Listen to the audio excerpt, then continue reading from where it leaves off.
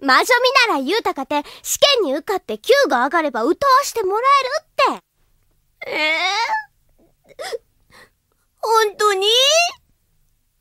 何級くらいで？誰が許してくれるわけ？多分、レコード会社の人、このアルバム買うてくれた人も、きっと私らの味方になってくれると思うわ。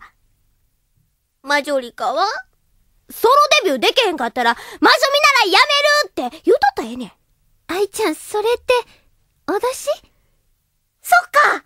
そうだった。その手があった。ど、ど、ど、ドレミちゃん。よっしゃ。